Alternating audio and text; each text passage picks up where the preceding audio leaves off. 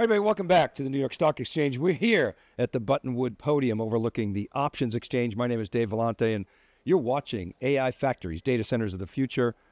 And we're thrilled to have Mindy Cancila here. She's the Vice President of Corporate Strategy at Dell and a longtime friend and a great market watcher. Mindy, awesome to see you. Thanks so much for coming in remotely to our studio. All right, so let's just get right into it. We've been talking all week here uh, about the trend toward on-prem AI, uh, what's happening in the on-prem stack.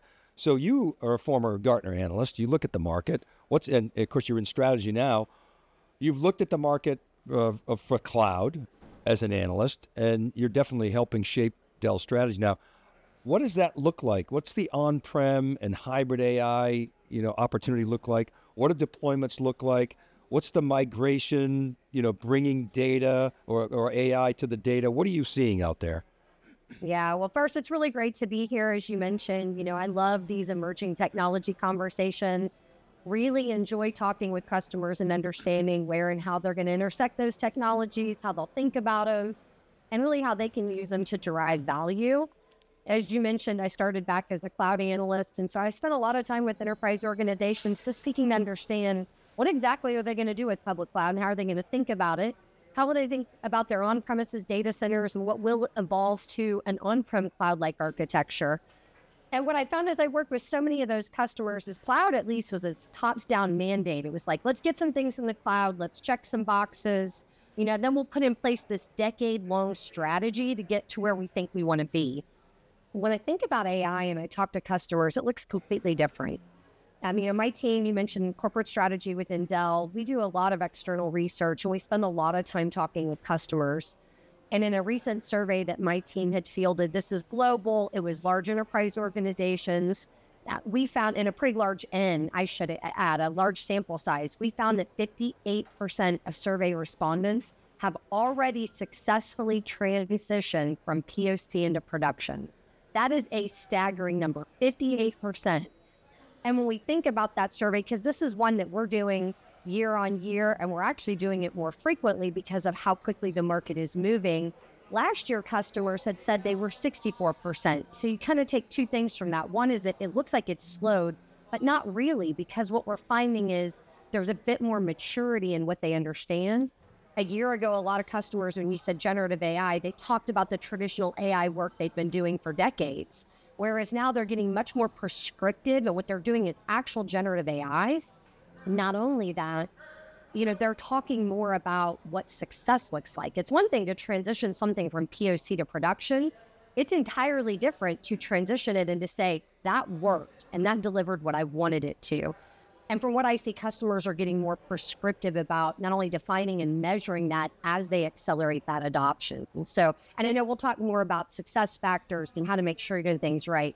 But at the intersection of this like multi-cloud and AI conversation, there's a natural connector where organizations are looking across their data centers, their public and hybrid cloud environments, and trying to figure out what are the types of workloads I need to run and where they're getting more specific and purposeful. And we just know a lot more than we did when many started down this journey a decade back.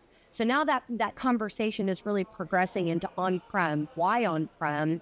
And it really comes back to the data. You'll hear me say that a lot. The data, the gravity of it, the latency associated with the things that they need to do. And then it'd be a miss of me not to tack on long term security challenges. We're always concerned with security, but then that ongoing cost conversation, which again, we see really pivoting from just what does this cost to what am I actually going to get out of this from an ROI perspective? So let me ask you a follow up, Mindy, if I can. You know, because you see the MIT study says everybody's failing on AI, um, which I thought that was 95% I thought was overstated. But I would, when I talk to customers, they're having great successes, which somewhat aligns with your data. I, I don't know about the exact percentages, but they're having real successes in coding the productivity um, in in coding use cases is off the charts.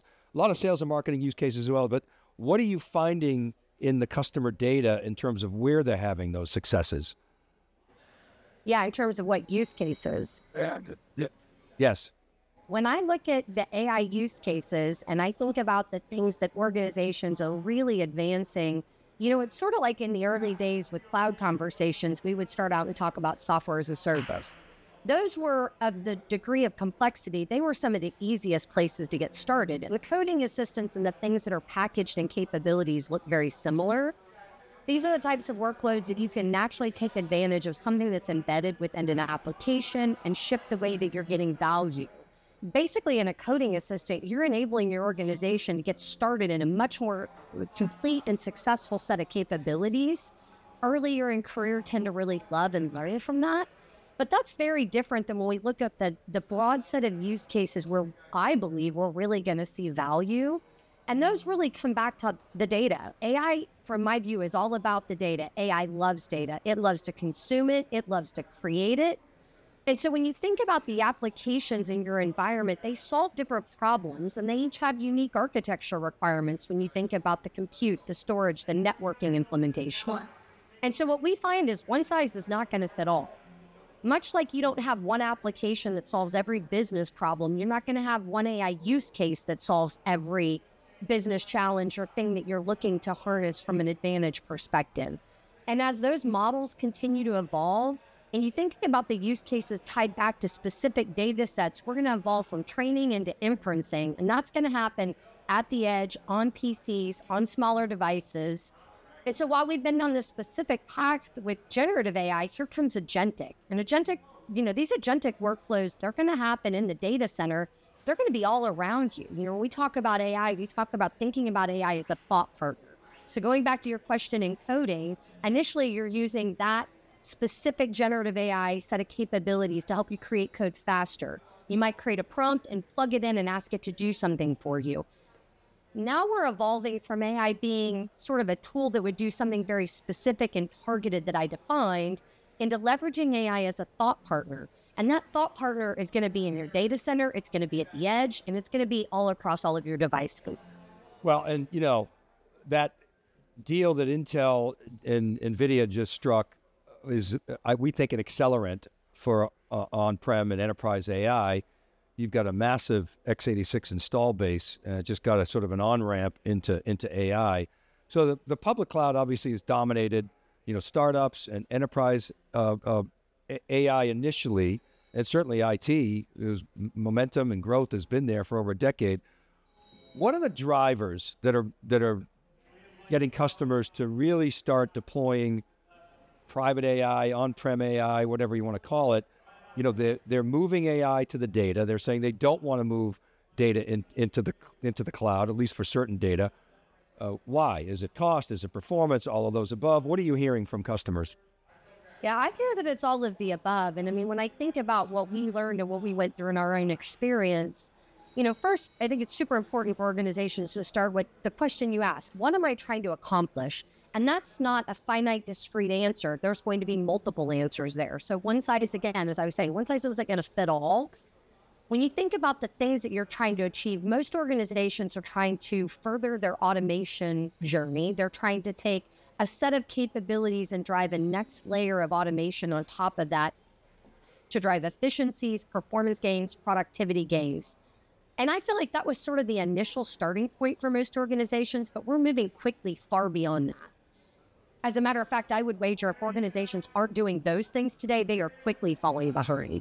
We're now moving into the mode, as I was saying, where AI is becoming this thought partner. We're moving from doing things more efficiently that we already did sort of that traditional take the automation steps that you're doing and automate where it makes sense to automate. This is like, how do I think about leveraging this as a, this being AI as a way to drive incremental revenue? How do I think about AI as a way to move the needle in areas to solve problems I never could have before. You know, my favorite use cases are when you hear these real feel good ones in the medical industry. You think about healthcare and the things that they're able to find faster that they maybe never would have been able to have found before.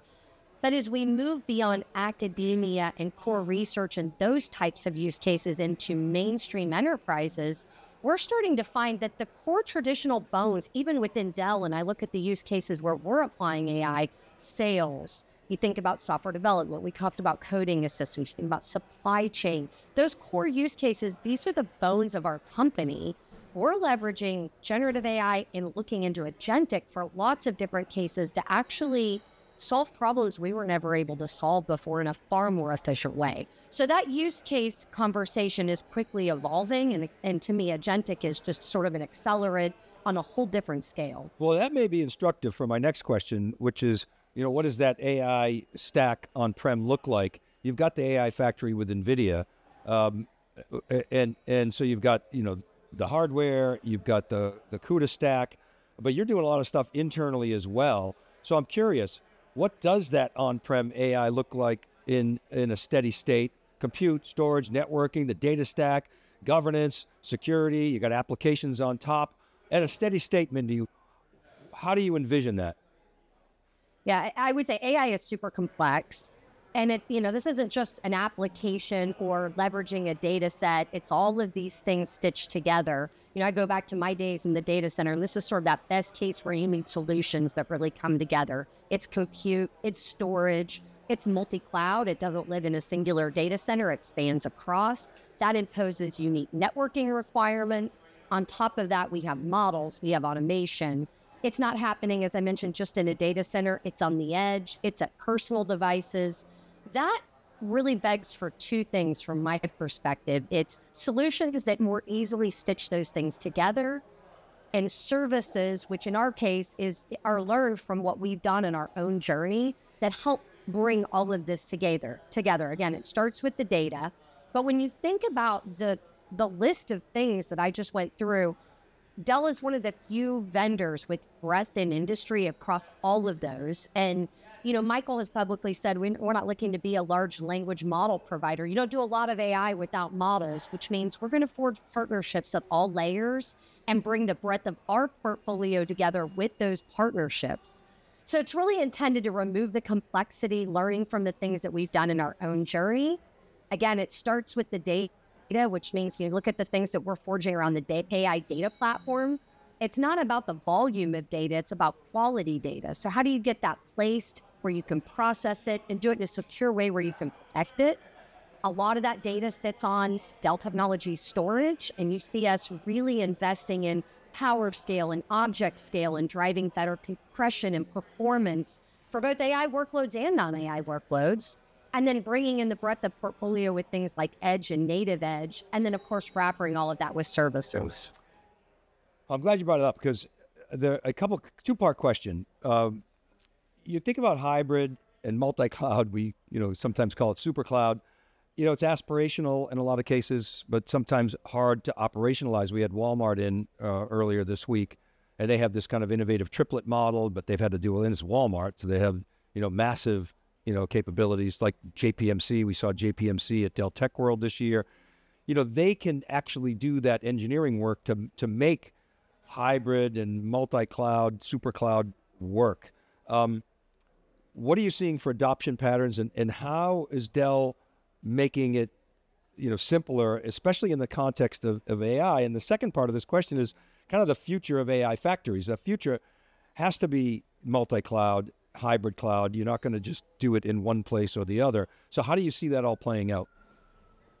Yeah, so on your first question, I mean, I think it's important to start to segment the types of customers. Again, we're a big company. So let me just start because I really want to focus on enterprise, but it would be amiss of me to not start with training. You know, Dell is an infrastructure provider that sells gear to a lot of large um, types of vendors, whether they're neo clouds or, you know, global companies at massive scale, these training providers, GPU as a service providers. And so that training market is one that we're very present that set of use cases and what they need because of the scale looks different than when you look at an enterprise. And it's sort of where you were going with a JPMC or a Walmart. And when we think about those types of customers, those large enterprise organizations, we know that they're going to do some training, but they're more likely to, at scale of all of the types of generative AI workloads they run, they're more likely to take a model, do some fine tuning, and then do a lot of inferencing with it. And that's really the enterprise class portfolio we're in those earlier days with, you know, beyond enterprise, you think MBs and, and, and small businesses. We're really looking at the enterprise part of the market. For those types of customers, getting into your second question, the types of things that I see and hear from customers they need to make that easy, they need solutions that have already been brought together. I mean, gosh, we've talked about model evolution, so I'll just pick on that one. these models are moving so quickly. It reminds me back to my cloud days when customers used to say, There's a new service every time I turn around, and I don't know that I want to move to adopt these new services. Or there are so many that it's complex for me to know where to even get started. A lot of the work that we're doing within AI Factory is learning from the things we've applied ourselves. We've done a tremendous amount of model evaluation. We do that in our technology teams and our engineering teams. And we're taking those solutions and bringing them to our customers in a more streamlined way. That's what the AI Factory is really all about. Exciting times, Mindy. Uh, I can't wait to uh, see the next chapter. We'll see you soon uh, around the block. Uh, looking forward to uh, catching up uh, next month in in Austin. Thank you so much for coming back. Great to see you as always. Cheers, Dave. All right, you bet. Um, and thank you for watching AI Factories, Data Centers of the Future, brought to you by Dell and NVIDIA. Thanks for watching. We'll be right back. We're at this short break. theCUBE plus NYSE Wired.